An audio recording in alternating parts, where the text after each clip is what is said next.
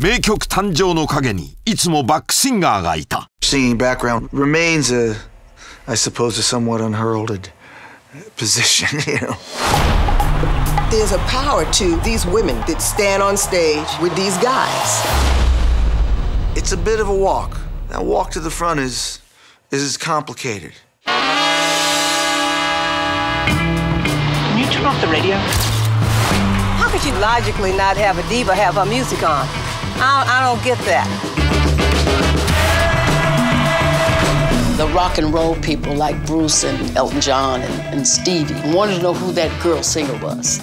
My life has been all about trying to make a success of the gift that I had. She was like the really hot one of the Ikettes. She was very hot, beautiful girl. I don't set out to be the sex symbol. But you post in Playboy.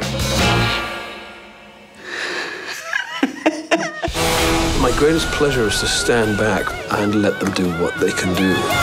When you're a background singer, it is a springboard, but it can easily become quicksand if that's not what you want to do.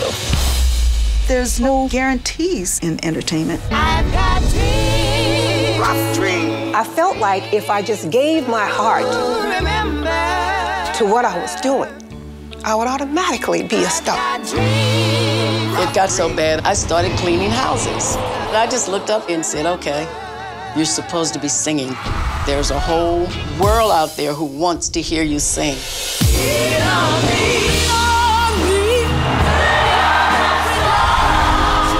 They're in the game and they stayed in the game, and they're legends. It is my honor to induct into the Rock and Roll Hall of Fame and about time to Miss Darlene Love. 彼女たちは歌に命と夢を吹き込む。バックコーラスのディーバーたち。これはあなたに捧げる人生参加。